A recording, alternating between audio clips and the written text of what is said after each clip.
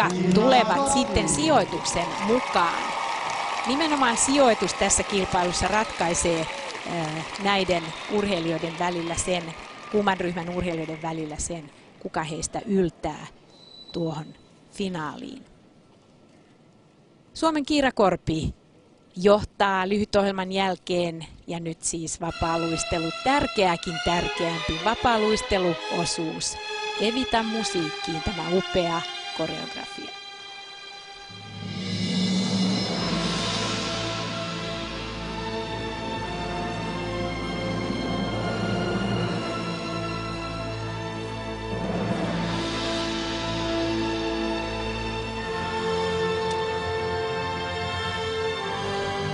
Aloittaa tuolla kolmoistulppi, kolmoistulppi yhdistelmällä, joka eilen onnistui lyhytohjelmassa, niin onnistuu tänään vapaa-ohjelman alussakin. Aivan upea alku.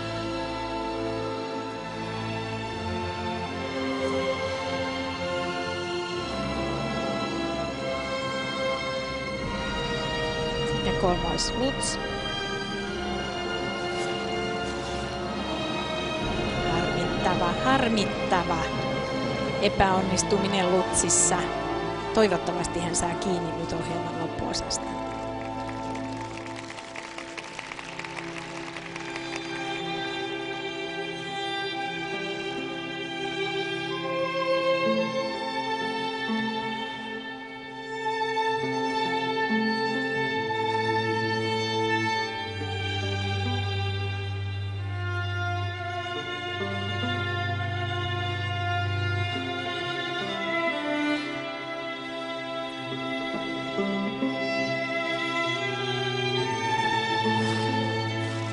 Kolmois riitti tyylikkäästi.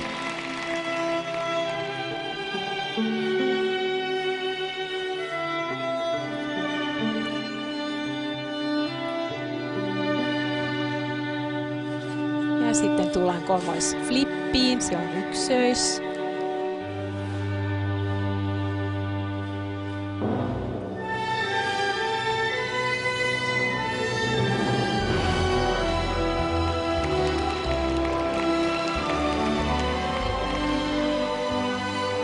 Thank you.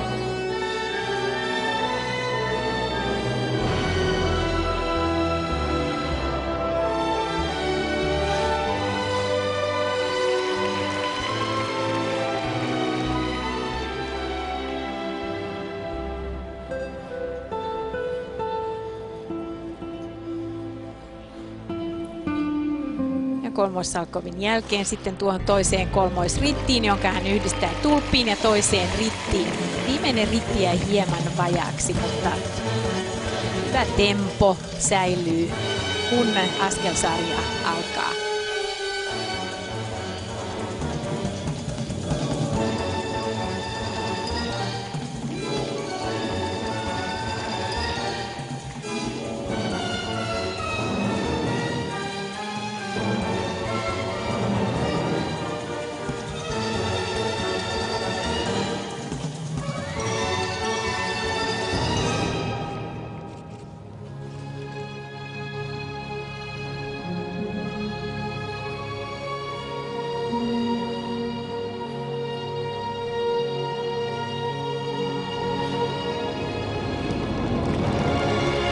Hieno yhdistelmä tuon kaksoisakselin perään. Tulppi, hän tarvitsi tuon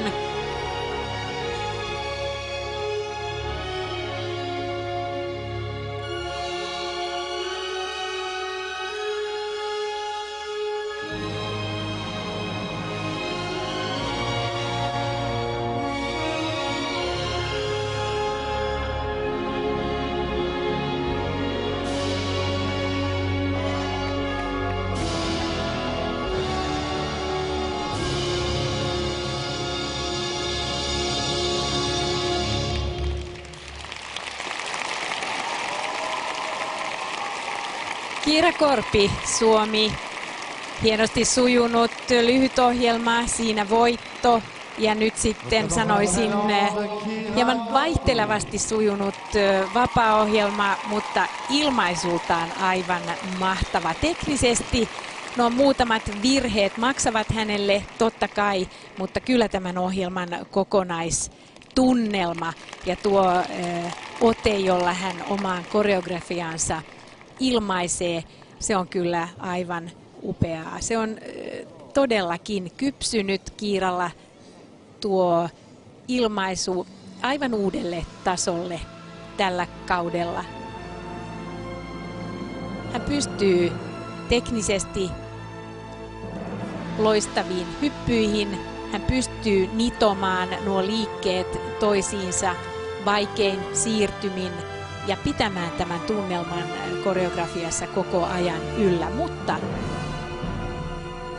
tämä virhe tuossa Lutsissa jäi hieman painamaan häntä muutamaksi kymmeneksi sekunniksi ohjelman aikana ja tuo jän, jännite aivan kuin katkesi. Ritit olivat hyviä, tässä toinen niistä. Piruetit samoin. Kiira Kim sai eilen yhdistelmäpiruetistaan kolmosta, mikä on tuo paras laatupiste.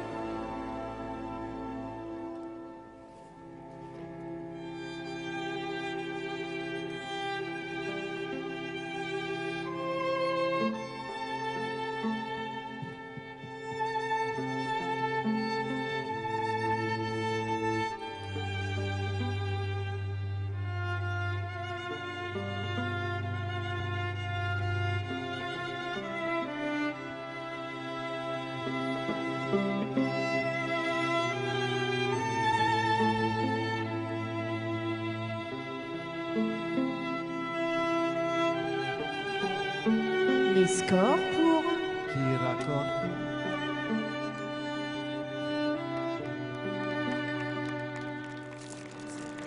Ja sitten äh, Kiirakorven pisteet, jännittävän kilpailun huipentuma. 108-35 ovat korkeat nuo osa-aluepisteet. Se on hänen ennätyksensä. Kokonaispistemäärä pitäisi mennä yli 167. Se menee yli 167. Hienoa. Kiira voittaa. Kiira voittaa GP-kilpailun Pariisin Bercy Areenalla. Hän saa tästä 15 pistettä. GP-finaalia ajatellen hän on erittäin vahvoilla. Menee finaaliin.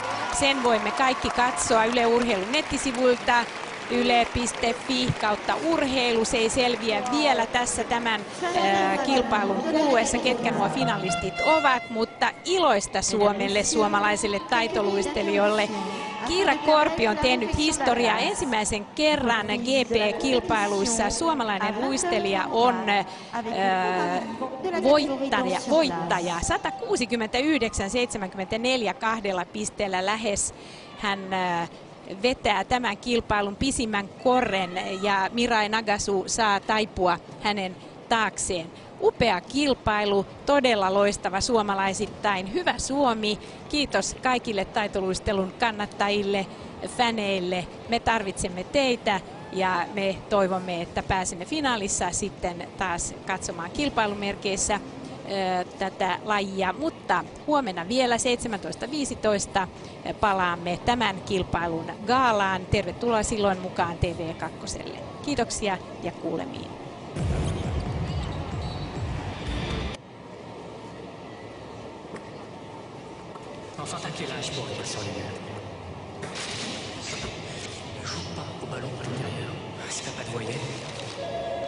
De quand on parle du loup, Allô? Mirao C'est Shanghai.